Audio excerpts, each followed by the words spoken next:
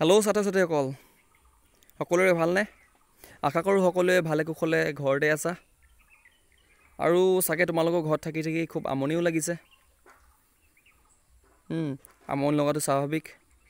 কিন্তু তোমালোকে এই সময়খিনি আমনি নলগাবৰ কাৰণে বিভিন্ন ধৰণৰ কাম কৰিব পাৰা। যেনে ছবি আঁকিব পাৰা। বা তোমালোকে অংক প্ৰেক্টিছ কৰিব পাৰা।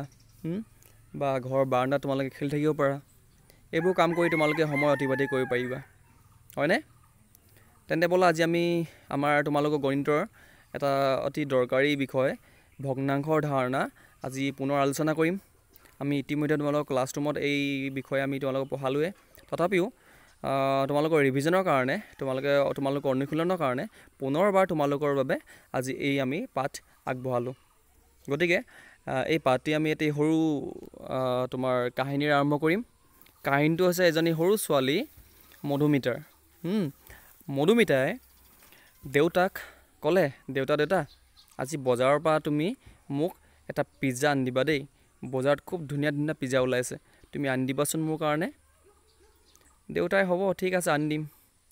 আৰু দেউতা যেতিয়া বজাৰৰ পৰা আহিলে দেউতাই মইনাক পিজ্জা আনি দিলে ক'লে মইনা আজি তোমাৰ বাবে মই পিজ্জা আনিছোঁ। কিন্তু সেই সময়তে তোমাৰ ভাগ্য খুব বেয়া। তোমাৰ ঘৰত তোমাৰ লগৰবোৰে খেলি আছিল। চোৱাচোন তোমাৰ লগৰ আহি পিনি তোমাৰ লগত খেলি আছে। তুমি এতিয়া ভাবিলা দেউতা কি কৰিলা তুমি? অলপ দেৰিত ক'ব নোৱাৰিলাচোন নোৱাৰিলা? এতিয়া আমি চাৰিজন আছোঁ আৰু পিজ্জা এটা। মই অকলে খাম বুলি ভাবিছিলোঁ। নহ'ব আৰু এটা ভগাই খাব লাগিব।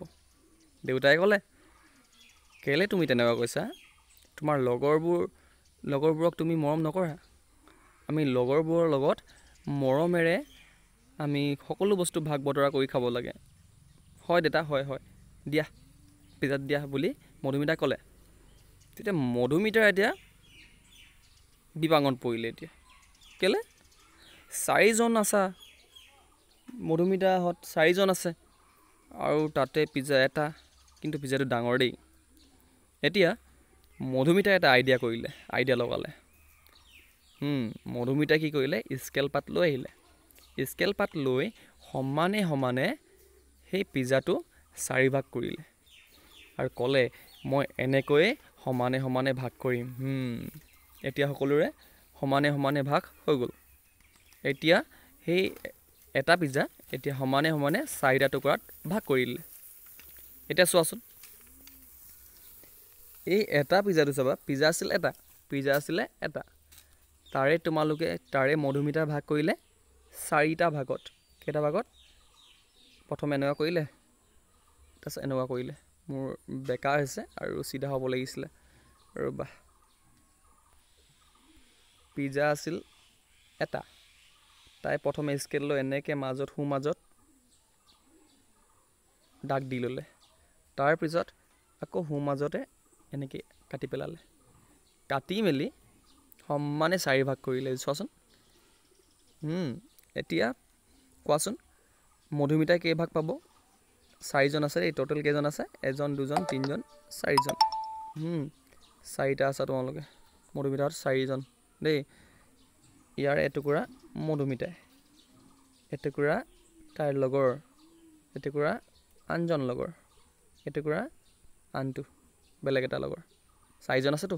গতিকে প্ৰত্যেকে কেইটাকৈ পালে? প্ৰত্যেকে চাৰি ভাগৰ এভাগকৈ পালে। তুমি কেইভাগ পালা? তুমি চাৰি ভাগৰ এভাগ পালা। তোমাৰ লগৰে কেইভাগ পালে? চাৰি ভাগৰ এভাগ। তোমাৰ আনজন লগৰে কেই কেইটা ভাগ কেইভাগ পালে? চাৰি ভাগৰ এভাগ। আৰু বেলেগ এজন আছিলে যে সি কেইভাগ পালে? চাৰি ভাগৰ এভাগ। গতিকে চাৰি ভাগৰ এভাগ চাৰি ভাগৰ এভাগ চাৰি ভাগৰ এভাগ চাৰি ভাগৰ এভাগ প্ৰত্যেকৰ ভাগত চাৰি ভাগৰ এভাগকৈ পৰিলে। তেতিয়া দেউতাই তোমাক ক'লে দেউতাই মধুমিতাক ক'লে মইনা দেখিছানে? প্ৰত্যেকে চাৰি ভাগৰ এভাগকৈ পালা। আৰু জানা এইটোৱে হৈছে ভগ্নাংশ মানে ভঙা অংশ। চাৰিটা ভাগত ভগালা তাৰে এটা এটা ভাগ তুমি সকলোকে দিলা। প্ৰত্যেকে চাৰি ভাগৰ এভাগ পালে প্ৰত্যেকে চাৰি ভাগৰ এভাগ পালে। এইটোৱে হৈছে আমাৰ ভগ্নাংশ। বুজি পালা? এতিয়া চোৱাচোন। ইয়াত চোৱা ইয়াত আছে বৃত্তাকাৰ এখন ৰুটি। এই ৰুটিখন তুমি দুভাগত ভাগ কৰাচোন কেনেকৈ কৰিবা? সোঁ মাজত কাটি দিলে হৈ গ'ল। কেইভাগ হ'ল এতিয়া? এভাগ এভাগ দুভাগ হ'ল। মানে এইটো এটা ভাগ এইটো এটা ভাগ। হয়নে? এইটো ভাগ তুমি খাবা এইটো ভাগ তোমাৰ ভাইটিক দিবা। ঠিক আছে? এতিয়া মোক কোৱাচোন তোমালোকে। যদি মই তোমালোকক সোধোঁ যে ইয়াক তুমি চাৰি ভাগত ভগোৱাচোন চিন্তা কৰা তুমি। চিন্তা কৰি তুমি কি কৰিলা? সোঁ মাজত ভাগ কৰিলা মধুমিতাৰ দৰে। আকৌ ইয়াতো ভাগ কৰিলে এনেকৈ সমানে সমানে। হয়নে? তাৰপিছত তাৰে এটা ভাগ তুমি দেউতাক দিয়া দেউতাক। এইটো ভাগ দেউতাক। দেউতাক কিমান ভাগ পালে? চাৰি ভাগৰ এভাগ পালে। ঠিক আছে? আনটো ভাগ মাক দিয়া। মায়ে কেইভাগ পালে?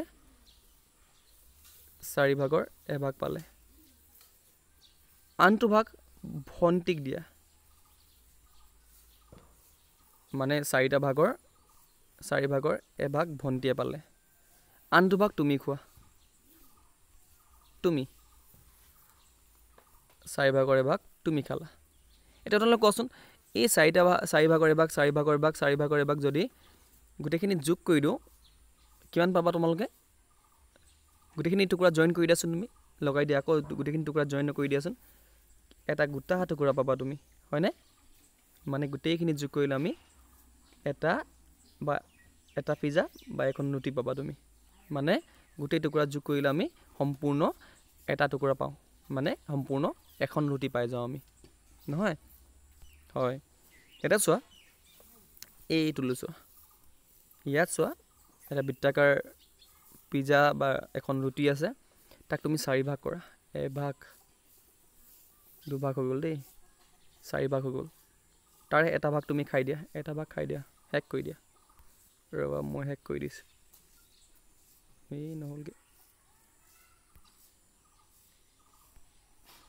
নহ'লগৈ। ৰ'বা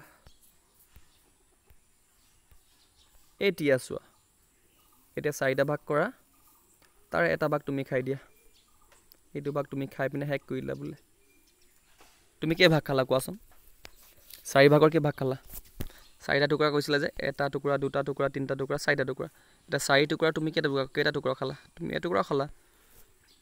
তোমাক বাকী টুকুৰা খাবলৈ নিদিওঁ নহয়। মই খাম বাকী টুকুৰা। মোৰ কাৰণে কিমান টুকুৰা বাকী থাকিলে কোৱা? মোৰ কাৰণে চাৰি ভাগৰ তিনি টুকুৰা বাকী থাকিলে। এই টুকুৰা মই খাম এই টুকুৰা মই খাম এই টুকুৰা মই খাম। তুমি চাৰি ভাগৰ ভাগ মই চাৰি ভাগৰ তিনি ভাগ খালোঁ। হয়নে? গোটেই দুটা যোগ কৰি দিয়াচোন এটা পাবা বা এখন ৰুটি পাবা। হয়নে হয়। এতিয়া চোৱা। এইটো ছবি লৈছোঁ। ইয়াত আছে ৰুটি এখন তাৰে তুমি চাৰি ভাগ কৰা। তিনিটা ভাগ তুমি খাই দিয়া মনে মনে। মই একো নকওঁ মনে মনে খাই দিয়া। বাকী থাকিলে কেইটা টুকুৰা? তুমি কেইটুকুৰা খালা চোৱাচোন ইয়াত? চাৰি ভাগৰ কেইটুকুৰা খালা তুমি? চাৰি ভাগৰ তিনি টুকুৰা খালা। মোৰ মোৰ কাৰণে কিমান থাকিলে? মোৰ কাৰণে চাৰি ভাগৰ এভাগ। হয়নে? এইটো হৈছে ভগ্নাংশৰ ধাৰণা।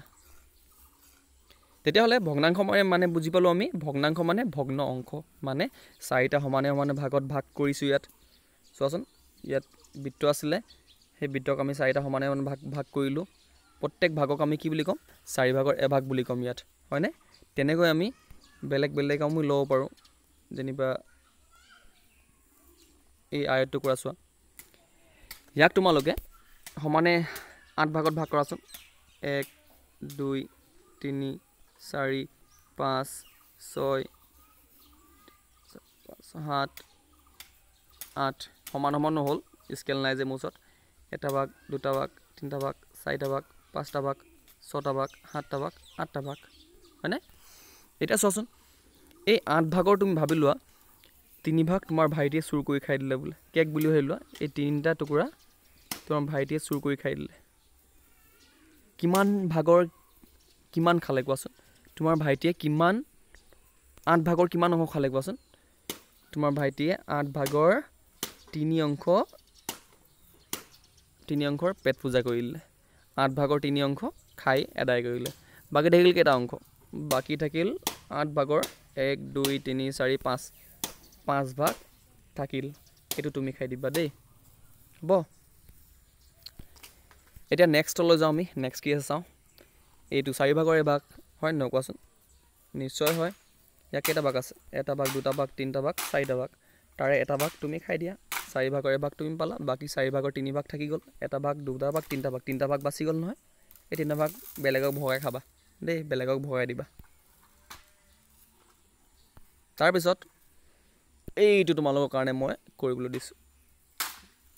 এইটো এইটো এইটো এইটো এইটো এইটো। কৰাচোন। চোৱা ইয়াত চোৱা ইয়াত কেইটা ঘৰ আছে মানে এটা আয়ত আছে এখন আয়ত আছে। এই আয়তক সমানে কেইটা ভাগত ভাগ কৰিছে? সমানে চাৰিটা ভাগত ভাগ কৰিছে। চাৰিটা ভাগত ভাগ কৰিছে। এক দুই তিনি চাৰি। এই চাৰি ভাগৰ কেইভাগত ৰং দিয়া আছে চোৱাচোন। চাৰি ভাগৰ তিনি ভাগত ৰং দিয়া আছে গতিকে চাৰি ভাগৰ তিনি। ইয়াত চোৱা ইয়াত এই বৃত্তটোক সমানে তিনিটা ভাগত ভাগ কৰিছে। এতিয়া তোমালোকে কোৱাচোন ইয়াত কেইভাগত ৰং কৰিছে? মুঠ ভাগ কেইটা আছে? মুঠ ভাগ আছে তিনিটা। তিনি ভাগৰ এভাগত ৰং কৰা আছে। হয়নে এক দুই তিনি। তিনি ভাগৰ এভাগত ৰং কৰা আছে। হয়নে? চিম্পল ইজি সেইকাৰণে ল এই ছোৱালীজনী খুব হাঁহিছে। এই একেবাৰে সহজ অংক বোলে একেবাৰেই সহজ অংক এনে পাৰিম।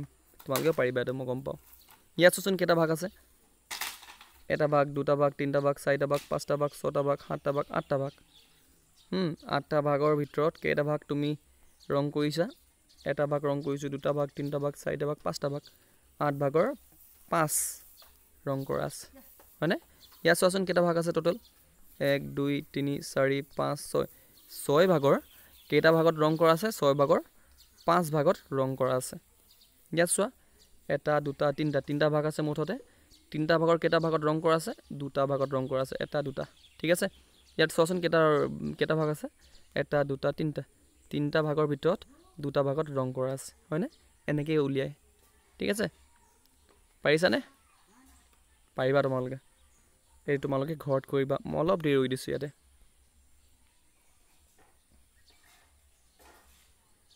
হ'ব। এতিয়া কোৱা তোমালোকে? ভগ্নাংশ আমি গম পালোঁ। কিন্তু ভগ্নাংশৰ চাবা দেই ভগ্নাংশৰ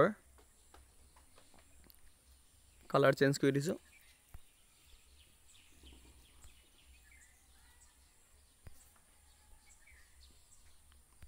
ধুনীয়া কালাৰ লওঁ দেই এইটো কালাৰ লওঁ।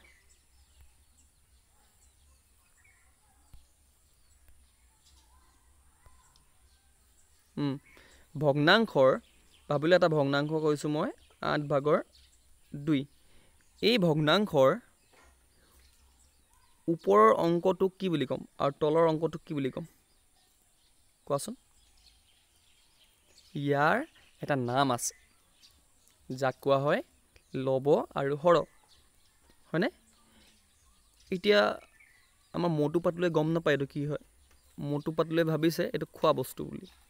ল'ব আৰু সৰ খোৱা বস্তু বুলি ভাবিছে। কিন্তু খোৱা বস্তু নহয় কাৰণ তুমি অংক জানা নহয় তুমি বুজাই দিবা সিহঁতক। মটু পাতলোঁ ল'ব আৰু সৰ খোৱা বস্তু নহয় চামোচা নহয়। এইটো ভগ্নাংশৰ ওপৰ আৰু তলৰ সংখ্যাৰ নাম হয়নে? বা অংকৰ নাম। এতিয়া চাওঁচোন ইয়াত কোৱাচোন তোমালোকে কোনটো ল'ব কোনটো সৰ আমি ইতিমধ্যে কথা পালোঁ পাতিলোৱেই আমি ন আমি গম পাওঁ। ওপৰটো ল'ব তলৰটো সৰ হয়নে? মানে সৰ হৈছে চাৰি ল'ব হৈছে এক। ইয়াত চাওঁচোন এইটো চোৱা। অ' এনেকুৱা বুলি কৈছে ন? ওপৰত ল'ব তলত সৰ ল'ব সৰ। সৰ তলত ল'ব ওপৰত। ঠিক আছে? এতিয়া ইয়াত তোমালোকে কোৱা। ইয়াত ল'ব কোনটো কোৱা? ল'ব হৈছে ইয়াত ল'ব ওপৰটো মানে দুই আৰু সৰ তিনি তিনি ভাগৰ দুই। ইয়াক কি বুলি কওঁ আমি? তিনি ভাগৰ দুই। এইটো ল'ব ওপৰটো ল'ব তলৰ সৰ হয়নে?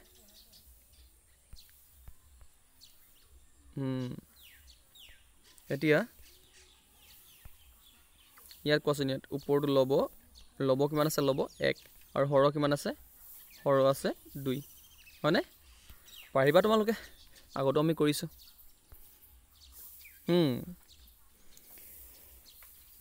এইটো চোৱা এইটো অংক চোৱা তোমালোকে মিলাব লাগিব।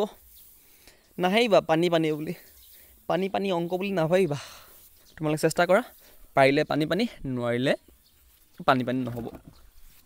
চেষ্টা কৰাচোন। এতিয়া চোৱা আমাৰ এই ছবিলৈ চোৱা। ইয়াত এই বৃত্তাকাৰ এটা বৃত্ত আছে। বৃত্তৰ সমানে তিনিটা ভাগ কৰিছোঁ আমি। তিনি ভাগৰ কেইভাগত ৰং কৰা আছে? তিনি ভাগৰ দুভাগত ৰং কৰা আছে। গতিকে এইটো উত্তৰ পালোঁ আমি। হয়নে? ইয়াত চোৱা ইয়াত কেইটা ভাগ আছে? এটা ভাগ দুটা ভাগ তিনিটা ভাগ চাৰিটা ভাগ। মুঠতে কেইটা ভাগ আছে? চাৰিটা ভাগ আছে। আৰু চাৰি ভাগৰ কেইটা ভাগত ৰং কৰা আছে? চাৰি ভাগৰ এক দুই তিনি। তিনি ভাগত ৰং কৰা আছে। গতিকে উত্তৰ এইটো হ'ব ন? নহয়। এইটো হ'ব ন? নহয়। তলত কিমান আছে? চাৰি ভাগৰ তিনি এইটো হ'ব। মানে ট'টেল চাৰিটা ভাগ আছে ন গতিকে চাৰি সৰহ হ'ব। গতিকে চাৰি ভাগৰ তিনি। ইয়াত চোৱা নেক্সট চোৱা ইয়াত। ইয়াত মুঠতে কেইটা ঘৰ আছে চোৱা কেইটা ভাগত ভাগ কৰিছে? এটা দুটা তিনিটা চাৰিটা পাঁচটা ছটা। ছটা ভাগৰ কিমান ভাগত ৰং কৰিছে? পাঁচ ভাগত। এক দুই তিনি চাৰি পাঁচ। গতিকে ছভাগৰ পাঁচ ক'ত আছে? এইটো নেকি? নহয় এইটো নেকি? নহয় এইটো নেকি? অঁ এইটোৱে হয়। ইয়াত চোৱা। এক দুই তিনি চাৰি পাঁচ ছয় সাত আঠ।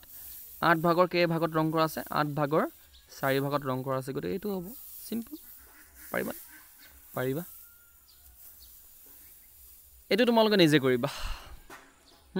বহীত তোমালোকে পাতি ল'বা। পাতি মেলি তোমালোকে মোক দেখাবা। হোৱাটছএপ গ্ৰুপত তোমালোকে মোক চেণ্ড কৰি দিবা। ঠিক আছে? আজিলৈ ইমানেই। Bye bye take care